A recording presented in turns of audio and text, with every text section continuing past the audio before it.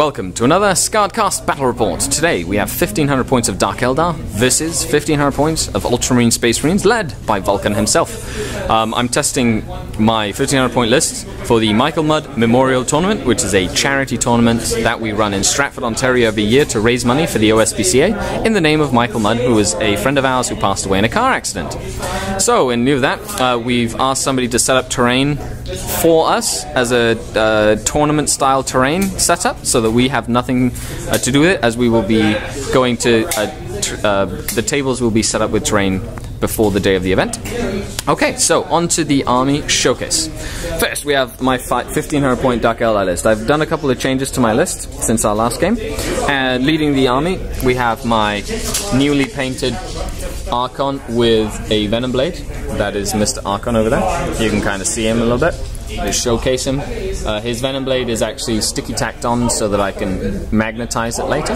He's with four Incubi in a Venom. The Venom is no upgrades, just one cannon and a Venom.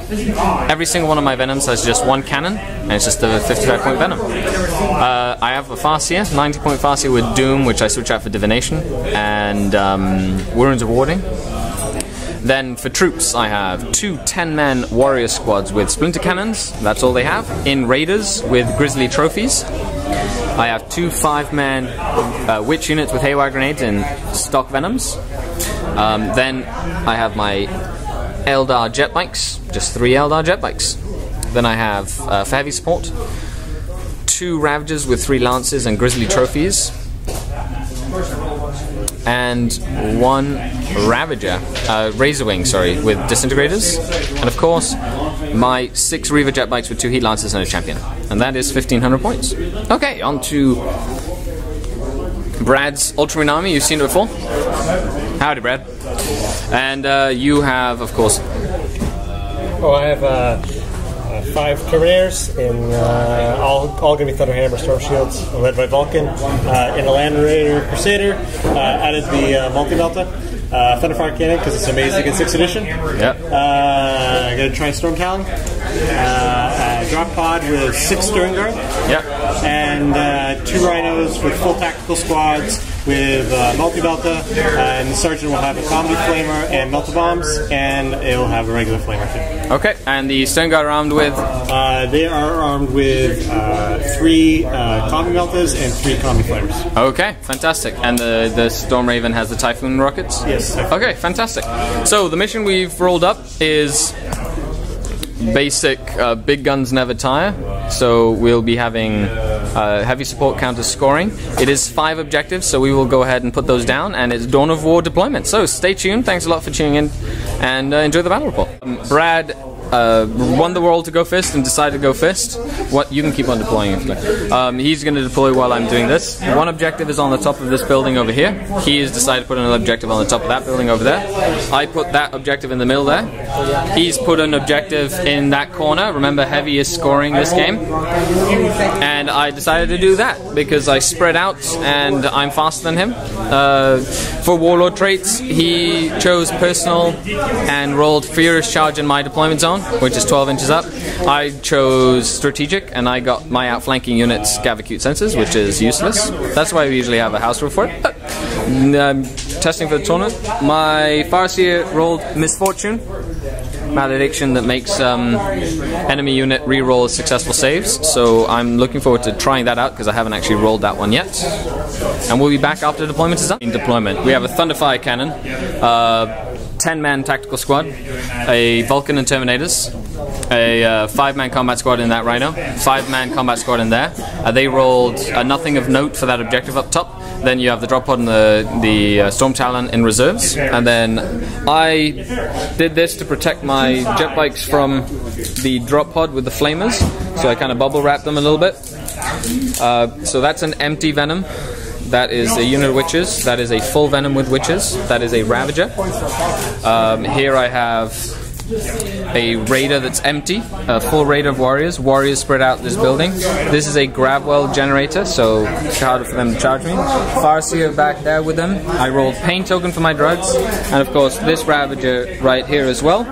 I have uh, oh, and the Incubier in the middle there. I have the Eldar jet bikes and the Razorwing in reserve, and Okay, I'm not going to steal the initiative because it is an objective-based game. It is Night Fight Turn 1. And we will begin the game. Thanks a lot. Enjoy the show. And uh, stay tuned. The drop pod decided to aim for here to try and melter that to death and then scattered 11 inches over here. They, instead of jumping out and committing suicide, ran back uh, just got based almost into the building. Then the rest of the army decided to abandon that tactical squad. and basically everything is gunning it for my little flanking support units over here, which means you have the Terminators, 5 combat squad, full tactical squad, and the Thunderfire cannon that failed to do anything to that Venom. Okay, so now we're moving on to Dark Eldar, turn. Uh, Ravager opened up fire, immobilizing and putting one hull point on the Land Raider. Yay! Um, these two Venoms, one Venom fired at the Thunderfire cannon, knocking it out. I love poison. And the second one, second Venom fired at the, the um, Tech Marine and didn't do anything, made all the saves. And then Brad continue to make saves all turn. They made a lot of saves. I didn't kill one of those five guys with 10 warriors shooting from that unit with a splinter cannon, 10 warriors shooting from that raider with a splinter cannon, um, all the cover saves from the lances there included, and then I, what I did is I boosted up my incubi um, venom up there to try and get them in. Uh, so that when that Storm Talon comes on and blows me out of the sky, I'm at least nearby his units. My Reaver Jet bikes boosted over the Stern Guard, did 12 hits, and then uh, did uh, three wounds, no, five wounds, and then uh, he made all the saves as well there. so they are going to die. Good thing I have pain tokens for my first drug that gives them a chance. Okay, so now we're moving on to Space Marine, turn two, and Brad is going to roll for his Storm Talon. Does it arrive? It does. Okay, we'll return. Storm Talon blew in and blew that up. Uh, they that rhino moved 12 inches and tried to snapshot a bunch of stuff to knock out the venom Fist, but that didn't fail. They passed their so they wrecked the Venom, which has passed the morale test. That Venom is still fine. Uh, Vulkan, wanting to actually play in the game, disembarked and moved up, threatening. The Land Raider Crusader shot into my Ravager and did one hull point on a glance. Uh, that Rhino immobilized itself on the area terrain. This unit of warriors moved up, of Space Marines, sorry, moved up, and together with his drop pod, fired at that Raider and uh, didn't do anything to it. The Stern Guard that I failed to destroy wiped out my bikes. So yeah, my bikes are dead. And this unit over here moved over here and blew up this Venom, and the Archon and the Equine passed their morale tests. Okay, so on my turn, I have reserves to come in. Do the jet bikes arrive? They do not. And does the Razor Wing arrive? It does not. Okay, and we will be back um, we had this flank over here kind of move up and start firing firebase. The Incubi and the uh, Archon went into that little uh, combat squad and murdered them horribly. Um, so now they are at Feel No Pain and Furious Charge for their pain tokens. Um, I killed one Marine out of this combat squad and killed the three Stern Guard with flamers that were out here, but the melter gun flamers, I mean the melter gunners are still, no, yeah, melter gunners are still in there. And then you have the drop pod, which is fine. This kind of moved over to shoot at the Stern Guard. Didn't do anything to them, didn't them, didn't do anything to them. The witches that were out here, got out here, threw a grenade, did nothing. Charged in, I actually got snapshotted by two flamers from inside, and he got hit six hits and five wounds, and I was able to save two of them with Feel No Pain, and they ran in with two haywire grenades, putting two hull points on the Rhino. And of course, that moved over, so if that Storm Talon wants to deal with it, it's forced to go into hover mode. Okay, and we will return after Space Marine 10-3. Uh, we had some tactical marines and stern guard fire into the incubi and killed two out of the three, even with saves and feel no pain. The Storm Raven blew over this way, put a penetrating hit on this, knocking down, uh, so it's got a second hull point on it, and stopped it from shooting, so it can only snap fire on the Ravager now. Um, the unit in here, Flamer, just clipped the um, the Venom, but killed one of the witches here, and then um, also knocked out the Venom there, blowing it up with a multi-melter, killing two. They are now pinned.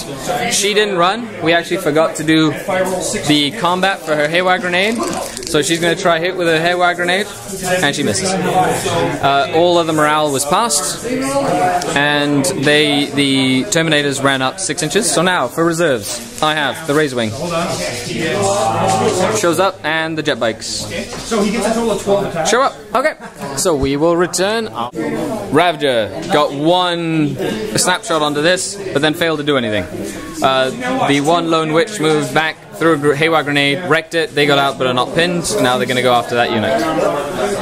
I wiped out that unit on top with basically everything that could shoot at it. The four marines that were there, including the Razorwing, who loosed two missiles and all his disintegrator cannons. The Terminators successfully part denied the witch on the misfortune from the Farseer that's in there. So therefore, I didn't shoot at them because I was he wasn't going to be able to re-roll saves on that. And my my um, Archon and his incubi moved up and ran, and then this empty raider that was over here moved on and then boosted up here to pick them up if needed. This Ravager moved across, and these Eldar jet bikes moved on here and boosted up here to try and get that and to consolidate my position on these two objectives. Okay. Uh, uh, Terminators moved up, ran an inch. Um, this fired at the Razorwing, knocking out two hull points on a disintegrator cannon, and it can only snap fire next turn. Um, what the stern guard fired and killed the last incubi, and that unit got out, and that tactical marine unit got out and murdered that uh, three witchman unit, and then the tech marine actually came out of hiding and murdered that last witch over there. So now we're moving on to the Razorwing turned around, moved away. The Farseer, Malediction, the Terminators were no longer there because the rest of my army decided to shoot at them. Um, they're going to boost up, and there just didn't do that. I'm going to move that in, in a second. There didn't do anything over there. I put a wound on Vulkan, and this guy finally snapshotted and took out the uh, Storm Talon. And we'll be back after Space Marine turn 5. Dark Eldar turn 5. Uh, the store is closing, therefore, this will be last turn. The Ravager moved up and boosted to contest this objective. The Eldar jet bikes that had started on the way of that corner have come around, shot the Tech Marine to death, and Assault moved to control that objective. The unit in that Raider moved out into that ruin to take that objective, and then that unit has that objective. So at the moment, I have three objectives, and I killed off the Stern Guard. We are going to do another Vulkan versus Archon battle report. So what we'll do is first, Brad's going to roll his snapshot with a heavy flamer. He does three hits with the heavy flamer, needing twos to wound the Archon, twin linked, because it's Vulkan flamer. So that's three wounds. Let's see if the shadow field, the Archon shadow field holds. First shadow field is okay. Second shadow field, shorts out, feel no pain is okay. And then the last save, no save. Third feel no, last feel no pain. No. So my Archon has taken a wound and no longer has a shadow field. So this will be do or die. Um, and we're gonna move Vulkan out just to make this epic enough. Just so you guys can see it. So we both have two wounds. Of course, if Vulkan gets any one wound in there, it's gonna be uh, a moot point. So my Archon has six attacks on the charge with his Venom Blade. He does have Furious Charge though, so he will be re-rolling his two wound rolls. So needing threes to hit, and he hit with all six. And needing twos to wound with his Venom Blade, and he wounded three times, but thanks to his Strength 4, he gets to re-roll these three, and he gives six wounds to Vulkan. So Vulkan needs to pass four out of six armor saves, or five out of six armor saves in order to survive. And he does it! He's gone! Archon survives! And anyway, thanks a lot for watching. Um, uh, this was, of course, a tournament game, so a lot of the stuff I did in this game was because if I would have been in a tournament, I would do it uh, to survive, like getting the raise Razorwing off. Um, so sorry if it wasn't as climactic, we just did that thing at the end there. And uh, Dark Eldar victory. Thanks a lot for watching. Of course, you can check out the podcast, which is on iTunes now, and the blog site, uh, skared.podbean.com. Follow me on Twitter. You can go over there, check everything out. And I always, of course, try to bring you quality content. Thanks for watching. Goodbye.